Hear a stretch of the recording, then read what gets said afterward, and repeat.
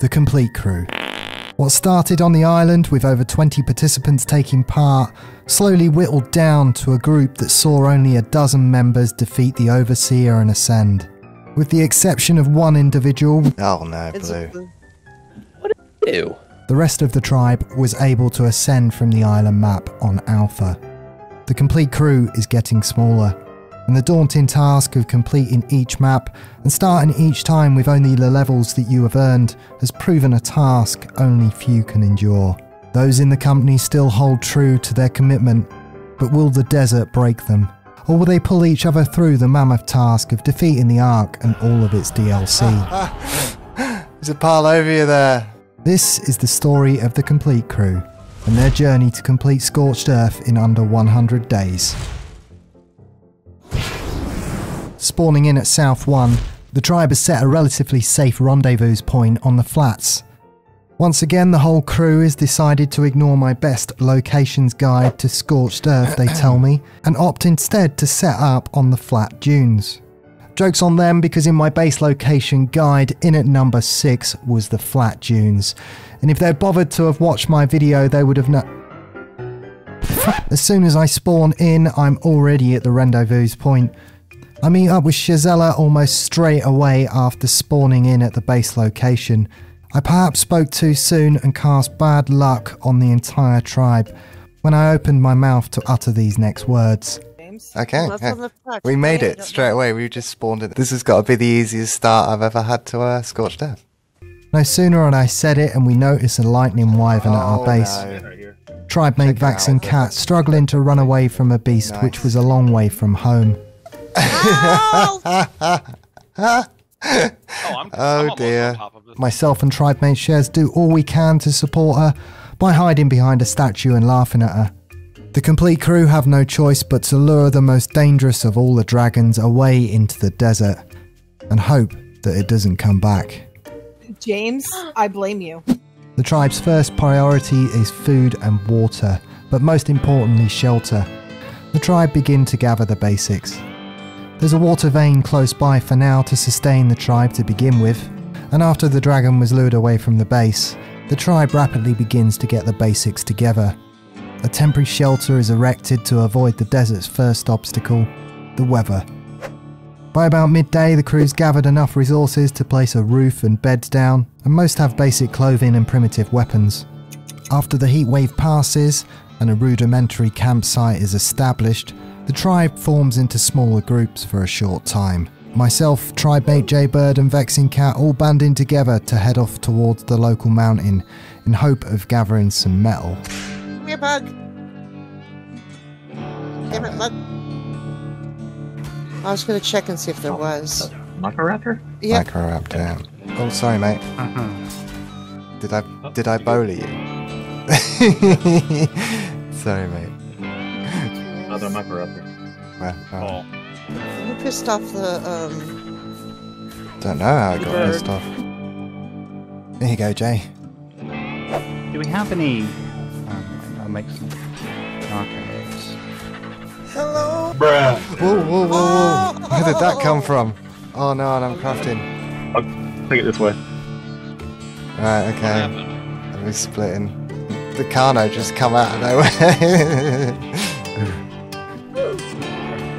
Oh no. Oh no no no no no. Try and get to I'm very close. Ow.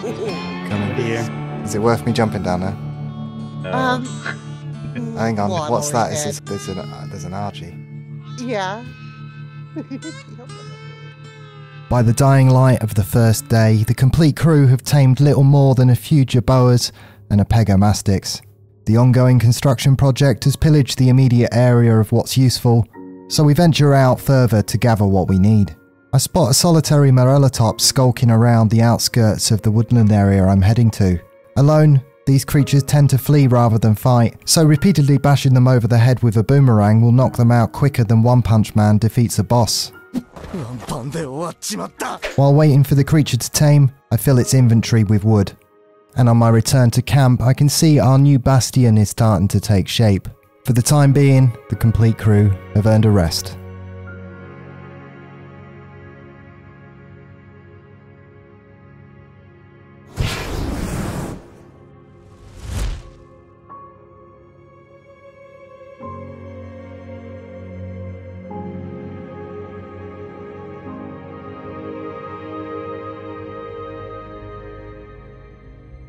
On to a swift sunrise, and a complete crew's main objective today is to obtain some crystal and a means to haul it. The crew has gathered enough metal to equip each member with a set of primitive tools. And towards the afternoon, a caravan of Morellatops is formed for an expedition. We bring tranq arrows and taming pens on the few animals that we have and set out in search of riches. We don't have to wander too far from base when chance brings an Argentavis our way. Tribe mate Romeo quickly constructs a taming pen for it, and an old friend jumps back in to say hello as we're getting set up. Having set up on high ground, he proves to be of no challenge and serves as an enticing meal for our unsuspecting Argentavis. The bird's caught with relative ease and its level is poor, but with our first bird tamed, we can fly off to gather a little crystal for the camp's spyglasses. With a little crystal hauled back to the base, tribe mate Vexing Cat brings more birds back to the trap. Just laid it down you can. It's flying after you. Oh no, come on, in go. There you go. It's in.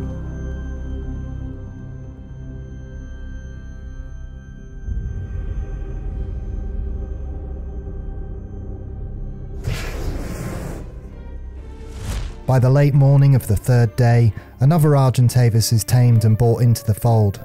These avian powerhouses are crucial for hauling large amounts of resources across the map, and the sooner each member has one, the faster we can progress. The two birds we have are not the greatest levels, so much of the third day will be spent acquiring more of them.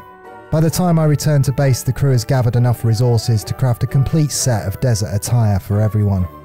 At this point, the tribe operates like a well oiled machine and runs faster than a whippet with a bumful of dynamite. After a quick pit stop and a resupply, I'm straight back out into the desert's blistering heat for a spot more bird watching. I grab a level 110 Argent and drag it back to the trap, with tribe mate Romeo waiting to knock it out.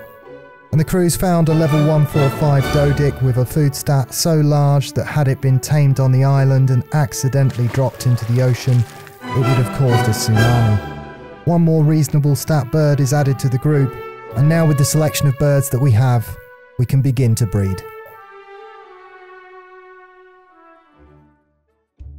By the afternoon of the fourth day, fertilised Argentavis eggs have been laid. I've constructed a makeshift hatching area, which serves its purpose for the day. As long as the first person to imprint the creature is its intended rider, any tribe mate can continue the imprint. So I continued the day calling out names and delegating mounts, and the rest of the crew continue with other tasks. For any players who are unfamiliar with how the mechanics of ARK's breeding work, then here's a few things you need to know. First, only one player can imprint a newborn, but after that, any player can give care.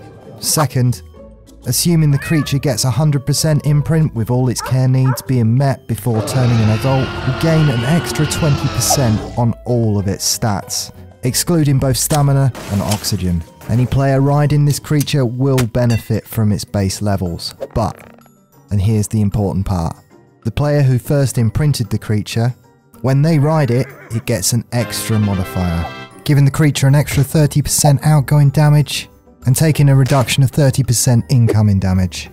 So, taking all of this into account, if you're not bothering to do any of this, then your creatures are about half as effective as any of the complete crews.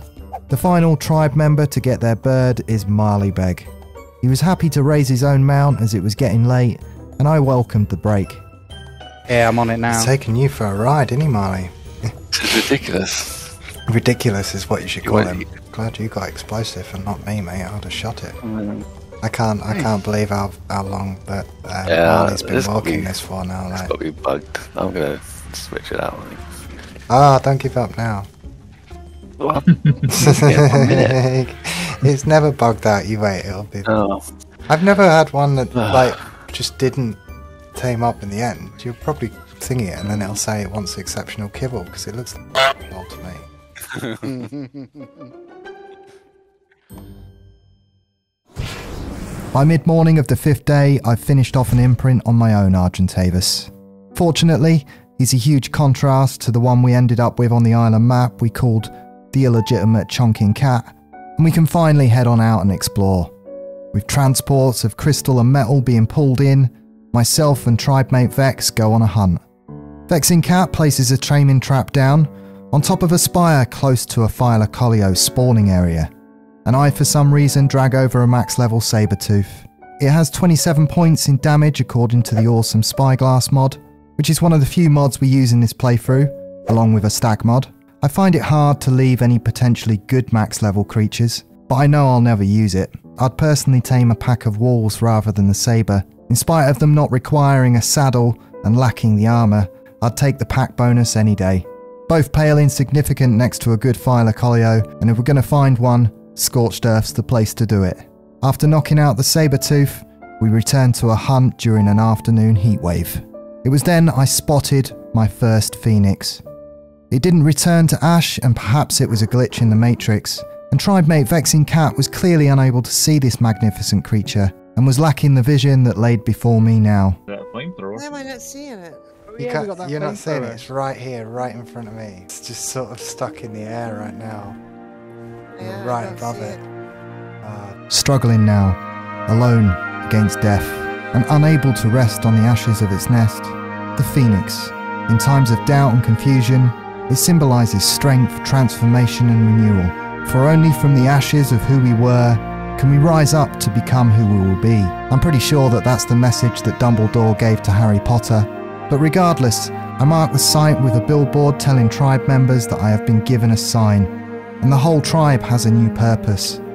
But for now, we must continue.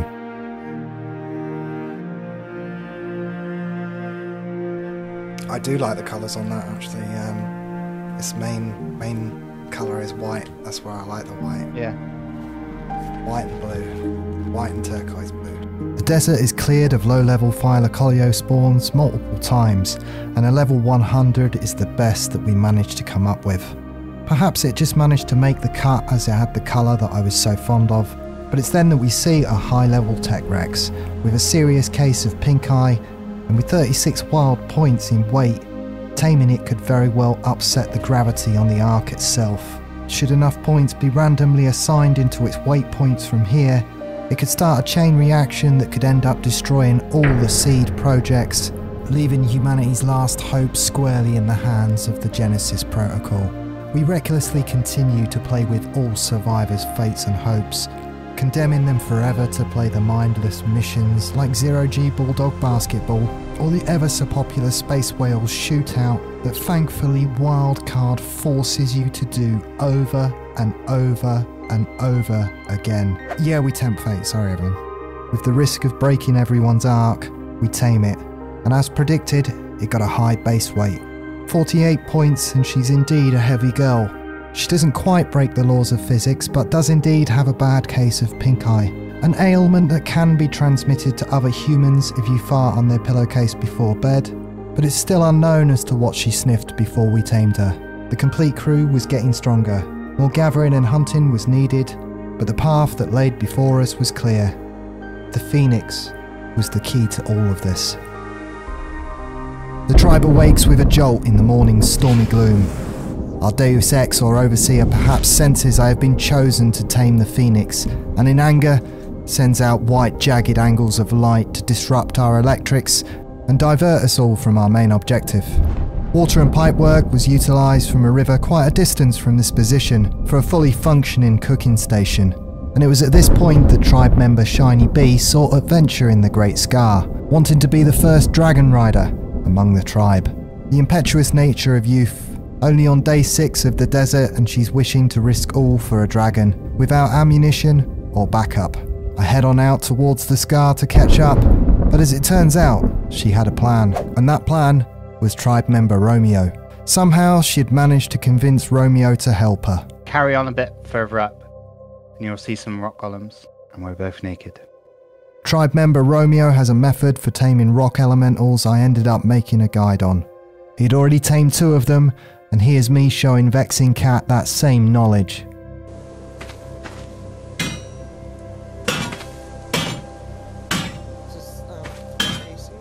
Yeah, yeah. Now, now come back towards me. It's fine now. Perfect.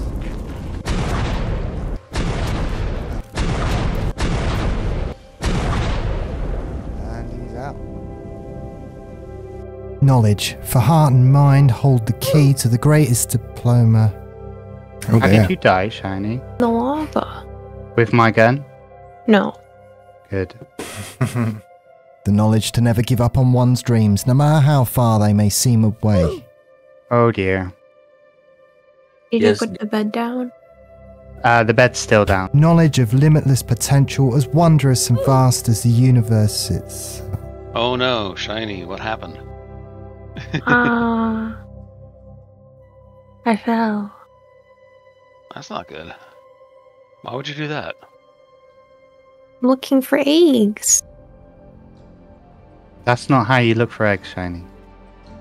How I look for eggs. It's a fashionable view that teachers should not impart bodies of knowledge, but instead should act as facilitators or coaches. A demonstration of how to gather eggs effectively without dying is clearly needed. You grab it. Go, go, One. go. Two. Okay. Come Quick, oh on. Get back. Oh no, I'm over encumbered. Oh, are you really? No, actually, I, I just feel that I'm slow. Oh, so there's it's one coming at you guys. Okay. There's one coming at you. Yeah, yeah, they will be. Yeah, that's it. Lead him into there. Lead him into Pebbles. Come on, Pebbles. Oh, shit. There's Oh. one well. This is it.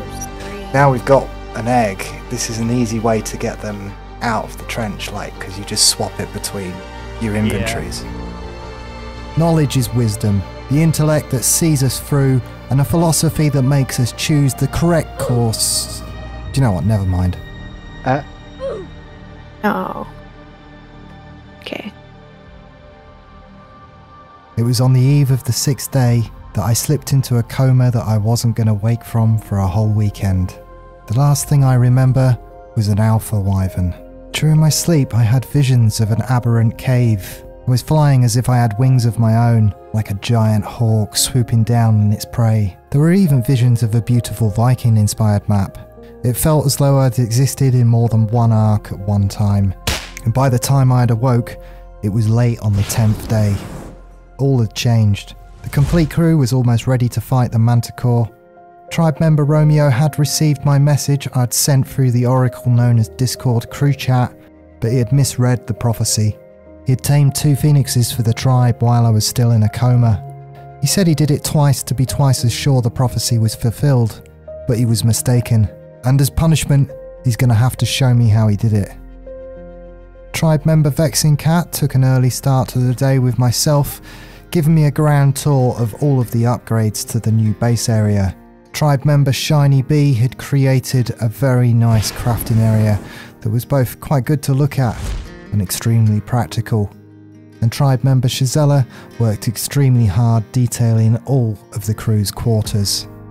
Not even allowing the paint to dry and the concrete to harden on this new Adobe build, and tribe member Chonk already has a bootleg operation going on in his back room. Tribe member Romeo and Shiny Bee have moved in together, and I wasn't suspicious of anything going on between them until I looked back at this footage. You'll know that Shiny Bee clearly logs out in the single bed just before we walk into the room, and I strongly suspect that she makes Romeo sleep there instead. On to the main designer of the crew quarters and Shazella's room. She's managed to get her cool dinosaur picture up, but has yet had the chance to do any detailing. I must say I approve of all of the upgrades, and we head on back to where the old crew quarters were. As it turns out, tribe member Jaybird is the only person who didn't end up with a room. Both myself and Vexing Cat have been given penthouse suites, and it would appear that Jaybird has got this whole place to himself now. I believe he's quite happy, and it's then that I spotted, unfortunately, Vex had forgotten her favourite tame. Hey, hang on a minute. Blue. You've left your favourite. I did not tame that. It tamed itself. Stick over. Yeah, that's it. You put it in this one right here. No, no, no, no. Order has now been restored, and on the agenda for today is caving. We're going to need artifacts to face off against the boss, and the Thylacoleos have all been bred and imprinted and are ready to take on the caves. It's required that each member takes part in the cave runs at some point in their playthrough. It's not always possible to be present at the same time, so this is done multiple times. But on the 11th day, a fellowship of five tribe members goes forth to retrieve some, on our newly imprinted Thylacoleos. They'll have little to be concerned about in a group so large, so first we head north to the mountains and the artifact of the crag.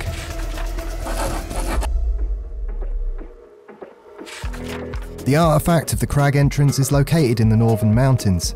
Heading out from the Blue Obelisk on Ground Mount is a good way to find your bearings. Following the path that's naturally eroded into the mountainside, you will stumble across its entrance. There are no trick loot crates in here, so checking all areas can prove lucrative. And while we wait for more artifacts to spawn back, tribe member Marley Beg notices a loot location that none of us have found before, nestled in an alcove in a chamber just outside of the artifact's room. It can only be accessed by grappling hook. The Thylacoleos are too big to squeeze into a point so small, so grappling hooks come in handy and it's recommended that you bring them. Each member personally retrieves an artifact, leaving only myself, and we add five more to the pile. Since Wildcard's update to the Thylacoleo, adding the Nash ability, which I do approve of, the Thylacoleo is now a powerhouse, even when soloing. However, the fact that the rock and rubble golems are able to take bleed damage, it's unbalanced the experience on Scorched Earth, which I don't approve of. Elementals do not suffer Wyvern Breath attacks, and I personally feel they shouldn't bleed. They're already slow and easy to dodge, they lack the ability to jump, and their primary purpose is to soak damage. Now that they can't when it goes up against a Philo, it makes them unbalanced. Into the late afternoon, and the crew head on out on a note run across the Dune Sea. We encounter a death worm, but unfortunately, it's not an alpha. Members of the complete crew wishing to complete a full skin set of exclusive Scorched Earth Roman armour need to find and defeat an alpha deathworm, and so far only tribe members Romeo and Shiny Bee have come across them. By the dying light of the 11th day, the complete crew head to the ruins of the Gladiator Arena. Behind the Manticore statue is a note from Rockwell, and in the centre, a creature dossier from Helena, containing the Phoenix, which was still the complete crew's top priority. It's well known at this point that Wildcard didn't finish Scorched Earth. Despite the fan base asking them to, it's widely regarded by the community that this is where Raia led Rockwell and Helena to find the exit to Scorched Earth. She sought to rob the ability of the Arks to reset themselves. What was the main control centre for the Scorched Earth now being buried underground. I highly recommend the fan's cinematic ending by Fulcrum Gaming if you've ever craved to see what it would be like. I'll leave a full link to the video down below. By the dying light out in the Dune Sea on the 11th day is when we stumble across the red loot drop that's going to perhaps change the fortunes of the whole tribe. I uncover a desert deep sea loot crate that could perhaps change the fate of the whole complete crew. An ascendant pair of scuba flippers and a pair of goggles. Tribe member Boss Chonk is very pleased as it'll go very well with his ramshackle scuba tank and tribe member Vexing Cat's scuba leggings. As the sun rose on the 12th day of the complete crew's journey, practically invincible to any land based creature the desert had to throw at them, besides the basic needs of food and water, and the dangers of the elements or being dismounted were the only things of any concern. The adventure had become more of a sightseeing tour around the ruins, as no member had anything to worry about in the safety of these numbers. The ruins of Nosti being the only cave on scorched earth with a bottomless pit could prove to be a wipeout for a crew member, but no mistakes are made and each crew member retrieves an artifact. After taking in the sights, we head to the final cave, deep within the desert canyon not far from our base location. When confronted with the last catacomb entrance with the remaining artifact, I'm reminded of a time before cryopods. The first time I ever entered this cave dying to a group of mantis on the other side. As frustrating as dying is, I much preferred the challenge. I used the Fjordur lava cave as a great example of how to keep your heart racing and the satisfaction that you get from accomplishing it. Now the caves on Scorched Earth are of no challenge. Upon returning to the base, Jaybird has constructed his usual breeding factory, and Romeo already combining the best stats we have on the Lightning Wyverns means technically speaking, we could all but level a group now and go and face the Manticore. Even without any mutations, the Manticore's fairly easy to beat now. No Rex saddle blueprint is yet to be found, and these particular creatures would give the beast a run for its money with a primitive saddle alone. But for now, the offspring of the Rexes that we don't want will be used to level the creatures we do want. And the resources that the Tek Rexes give back almost make gathering metal an unnecessary chore. Harvesting the baby Rexes with a chainsaw yields quite a lot of scrap metal, and considering that one scrap metal piece equals one metal ingot, as opposed to two raw pieces of metal per one, after an afternoon of breeding, you can end up with quite a lot of metal. After a short time, electric components and oil will also build up, so just dino farming alone can be a good way to contribute to the tribe's wealth, and kills multiple birds with one stone, so to speak. The crew was almost at full strength, but one thing still remained, and no one was moving on from this map until I'd fulfilled the prophecy of taming the phoenix.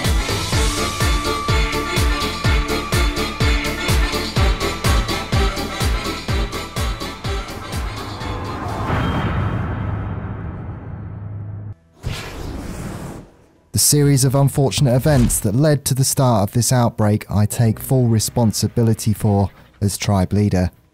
At some point over the last couple of days, Shazella's poor battle wyvern had developed a horrible pink mutation in its skin, and we believe that breeding the Tek rexes so close caused the mutation to jump over. A breakout of pink eye scurvy can be a serious problem if social distancing is not adhered to. Had I known the pink eye pathogen could be transmitted via different species, I would not have thrown caution into the wind last night by sneaking into Romeo's room to fart on his pillow. And being that he doesn't have pink eye, I can confirm that he doesn't sleep in the small bed. An unbeknown side effect of tribe member Shiny Bee contracting pink eye was to defecate admin and all round nice guy Jaybird's room. Clearly, she was suffering from some kind of side effect. Tribe member Vexing Cat was starting to worry me too. She kept losing consciousness every 10 minutes or so, perhaps early signs of pink eye. It was indeed quite frustrating for her. To keep her safe during these bouts of unconsciousness, we stuffed her behind the staircase to risk less members becoming infected. Perhaps it was already too late to stop the spread, and being that the tribe was ready to fight the manticore, waiting for me to tame the phoenix was only going to expose the crew longer.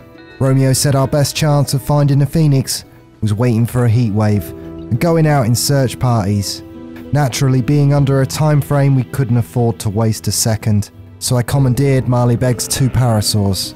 Something I hardly bothered to tame myself, but their ability to sense predators could help us narrow down our search. Taking one parasaur each, we scoured the desert meticulously for signs of the phoenix nest. I thought they would help us improve our chances, but the smaller ants would often show up, giving off false positives. It was like looking for a needle in a haystack. Then we get the good fortune of being out in a heat wave. The fact that we had combed half the desert with the parasaurs I feel helped narrow down our search, and in this short window of opportunity, Romeo spotted it in the mountains. By the time I got there, the heat wave was over, but our parasaurs could still see the nest. And now that we have the location, all we need to do is build a trap and wait for a heat wave for it to spawn in. We return to camp under the cover of darkness, still wary of the lingering contagion looming over the tribe. I wait outside while Romeo gathers the resources we need. If I can tame the phoenix tomorrow, there's still hope we can beat the manticore before more creatures get infected.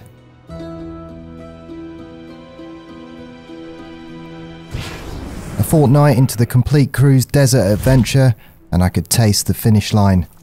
Tribemate Romeo constructs a trap he learned from Nooblets, and with two weeks having passed in the desert, the only thing left for the complete crew to do was tame me a phoenix.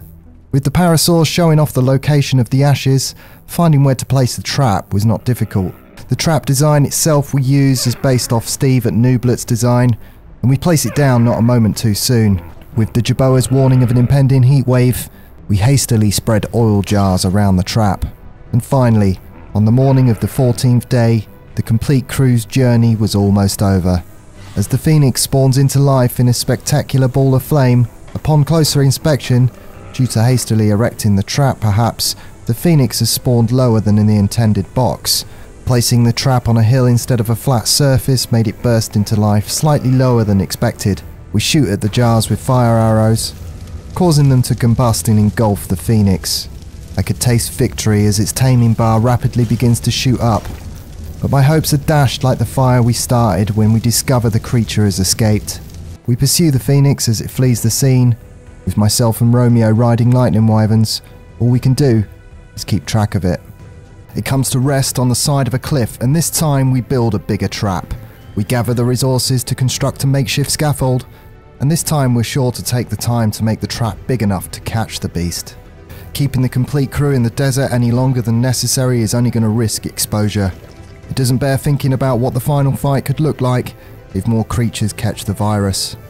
So as not to run the risk of offending anyone in the tribe or my wonderful viewers here on YouTube, we dubbed the new strain of pink eye the Delta variant.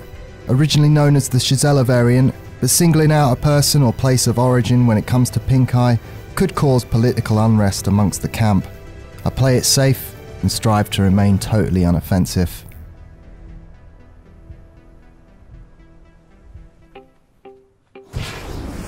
By the following day of waiting for the weather to change the complete crew's fortunes, myself and Romeo construct a new and improved base. I raise a white flag on the rooftop signalling that we are safe from the virus. Out of sheer boredom, myself and Romeo make a parkour challenge.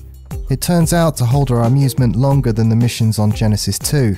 Every time we failed the last jump, the overwhelming compulsion to try again was genuinely more fun than hunting Maewings with a net gun and under a time frame.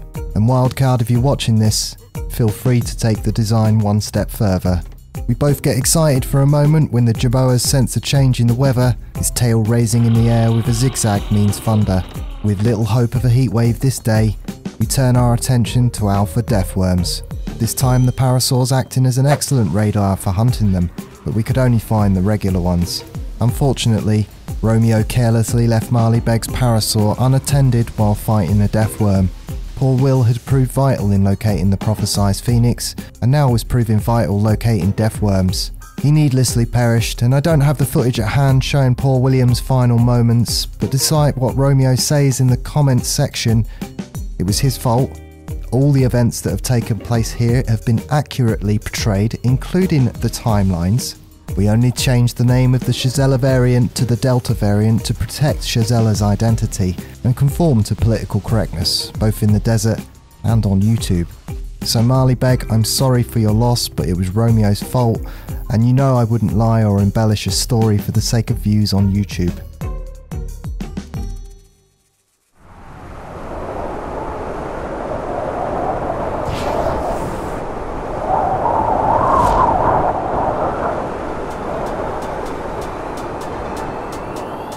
It was late into the evening of the 17th day when it finally happened. Tribemate Romeo had long since gone to bed, and I had matchsticks in my eye sockets keeping me awake. Vexing Cat, seemingly having gotten better from collapsing every 10 minutes, had come to keep me company. The new base of operations had been turned into some kind of vulture sanctuary now, and she wanted to get tribe member boss Chonk back for putting a dozen monkeys in her room back on the island. And being that I was Vexing Cat's neighbour back then, I wanted to get Boss Chonk back for putting a dozen monkeys in her room. Being more than prepared to tame the phoenix, having it spawn in the trap properly this time, Vexing Cat could look on in awe as the prophecy is fulfilled. I try to approach the creature to see if it's taming properly, and it's in this moment I'm careless. Stepping too close to the flames, I fall off the side of the cliff, falling to the earth like an asteroid crashing through the atmosphere. My first death of the playthrough is certainly a memorable one.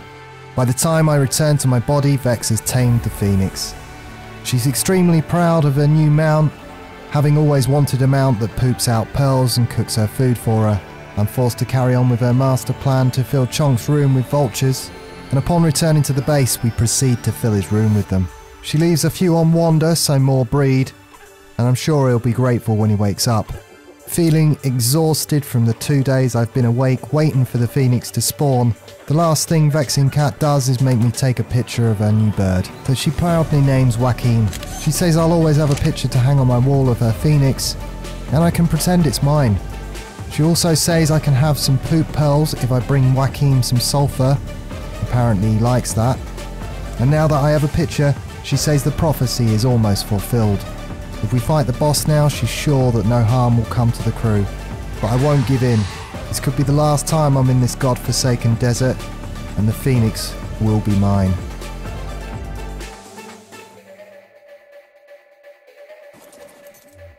Two more days pass combing the desert with our parasaurs, in one last ditch attempt at finding the phoenix in time. Luck would have it that Vexing Cat stumbles across more ashes in the Dune Sea, and a trap is promptly constructed, using the same design as before.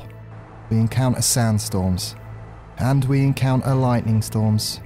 And out of sheer boredom waiting for the weather to change, we make a new type of taming pen for the giant praying mantis. It does kind of work, but going out of render distance is required to passively tame them, but having a large trap to drop the mantis into did help somewhat and a design that we can perhaps improve on. 21 days into our journey and finally my last chance to get this right laid before me. A slight alteration to the trap was made, giving me more room to stand back from the inferno. And we're in business. I tame a phoenix for fulfilling the prophecy. As Vex named her phoenix Joaquin, I named mine River after his brother. And as this was the end of the journey for the complete crew, all that was left to do was fight the Manticore. As predicted, most of the girls' wyverns ended up contracting pink eye, and since Wildcard updated the wyverns, the Manticore is no threat. Even testing this fight solo, the most we lost was one wyvern, and only because it was knocked out by poison and died to a rock elemental on the floor. The whistle commands in the arena are broken, as I suspected on my own completionist run. No controlling the creature means other than the riders using their lightning breath. All the dragons can do is bite. This technically means that any type of dragon can be used in this fight. No blueprints are required for the saddles, so all you need to do to beat it is find one decent wyvern egg. A huge thank you to the complete crew for letting me roast them in these 100 days defeated challenges. They're honestly the nicest group of gamers I've ever had the pleasure of meeting, and hopefully after seeing this, they'll all want to continue on to Aberration. And naturally, a huge thank you to my patrons scrolling up the screen right now. YouTube is almost impossible to be discovered on now, and only a handful of people will be shown this video. So I thank you all from the bottom of my heart for making YouTube somewhat worthwhile. And lastly, we leave the last words to come from Boss Chonk, who wants to send us all out with a rhyme about Fred. My name is Red, Fred. Fred, Ned, Ted. you know, it's gonna change every time. I'm still dead. Woke up in the sand, skin burned my red. Now that should be head. Skin burn my head. Well, my skin burning red. Apologies, my skin burning red. Yes, like sunburn. You know. My friends ascended, I came here instead. The scorched hell fills me with dread. Very cool, mate. I don't think our journey ends here, mate. That's the thing. Oh no. And, and I, I don't know, by the end, with the team that's left, we might even be a team that's possibly able to tolerate Genesis 1 and 2. There is good things about that map. There's creatures, there's things to do that I never really did. And it, it very much is meant for a small team. So it looks like there's six or seven of us that are pretty much a team. A huge thank you to Boss Chonk for leaving us with another rhyme from Fred, and of course to all the members of the complete crew. Without their help, these episodes certainly wouldn't be possible, and I thank them for putting up with my shenanigans over the last couple of months. Until next time, I'm James from Complete Games, and I'll see ya.